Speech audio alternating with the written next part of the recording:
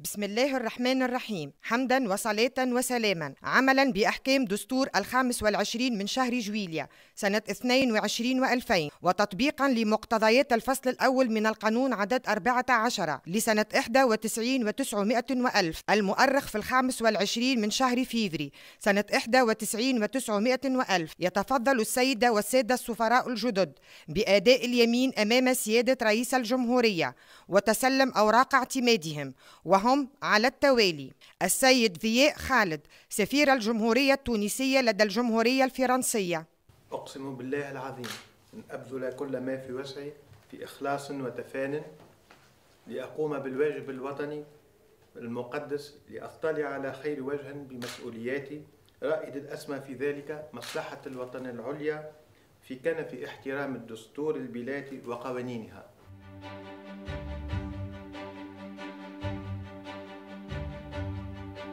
السيد زهير بوراس سفير الجمهورية التونسية لدى جمهورية مالطا. أقسم بالله العظيم أن أبذل كل ما في وسعي في إخلاص وتفان لأقوم بالواجب الوطني المقدس لأطلع على خير وجه بمسؤولياتي رائد الأسمى في ذلك مصلحة الوطن العليا في كنف احترام دستور البلاد وقوانينها.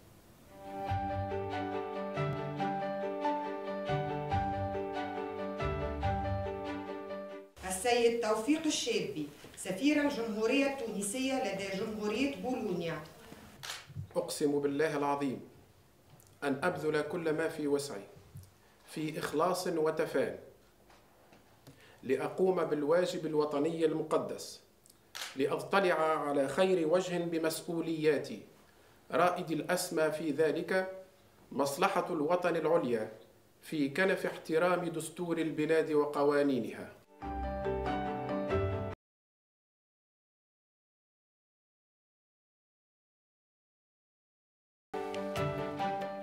السيد محرز الفرشيشي سفير الجمهورية التونسية لدى جمهورية الكونغو الديمقراطية.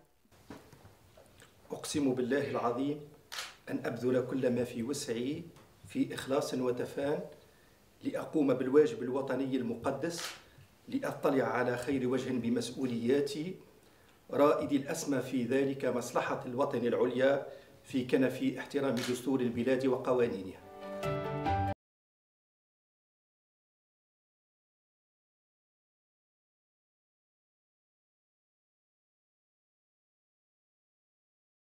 إلهام عمار سفيرة الجمهورية التونسية لدى جمهورية النمسا.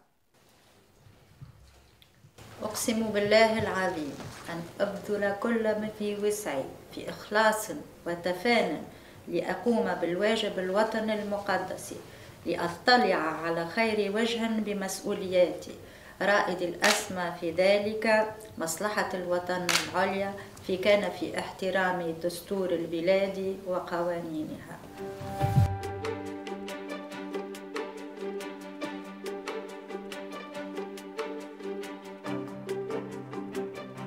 السيد نبيل لكحل سفير الجمهورية التونسية لدى جمهورية البرازيل الاتحادية.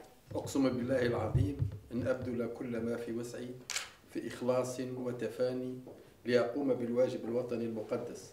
ليطلع على خير وجه بمسؤولياتي رائد الأسمى في ذلك مصلحة الوطن العليا في كنف احترام دستور البلاد.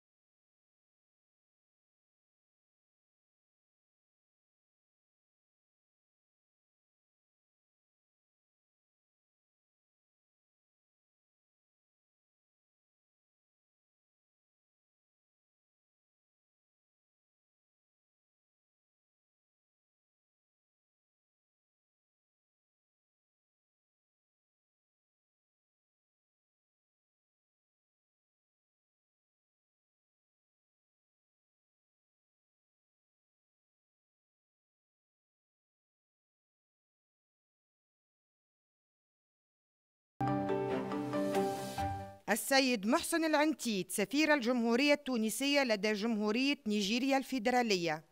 أقسم بالله العظيم أن أبذل كل ما في وسعي في إخلاص وتفان لأقوم بالواجب الوطني المقدس لأطلع على خير وجه بمسؤولياتي رائد الأسمى في ذلك مصلحة الوطن العليا في كنف احترام دستور البلاد وقوانينها.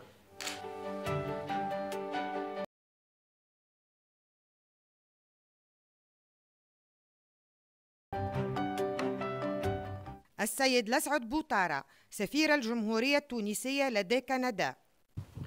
أقسم بالله العظيم أن أبذل كل ما في وسعي في إخلاص وتفان لأقوم بالواجب الوطني المقدس لأطلع على خير وجه بمسؤولياتي رائد الأسمى في ذلك مصلحة الوطن العليا في كنف احترام دستور البلاد وق...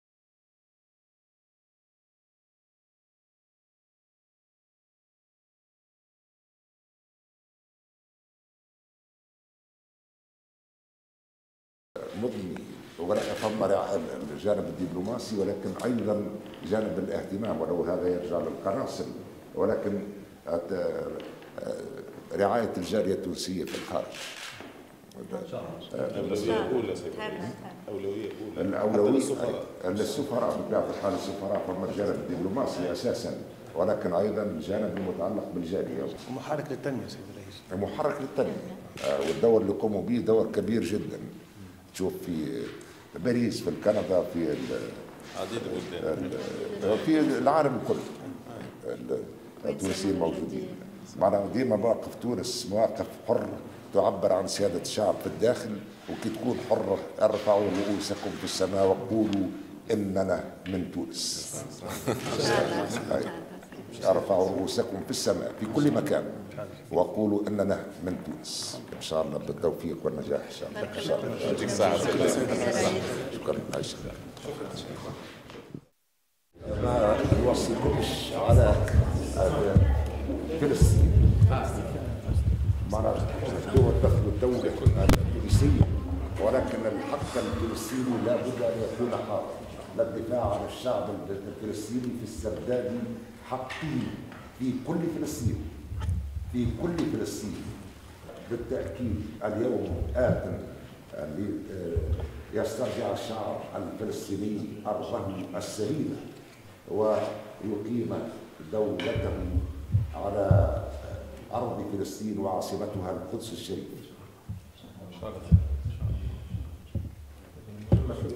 المهمة هامة لأن موقفنا ثابت ولن نتراجع عنه والحق حق لا يسقط بمرور الزمن. ولا يسقط بالقلم. هذه المجازر التي ترتكب كل يوم كل يوم.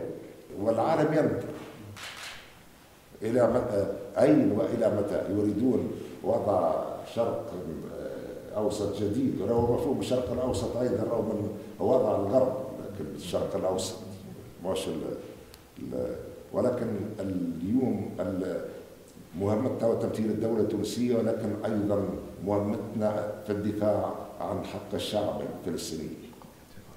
القضية عادلة بكل المقاييس. شكرا. شكرا.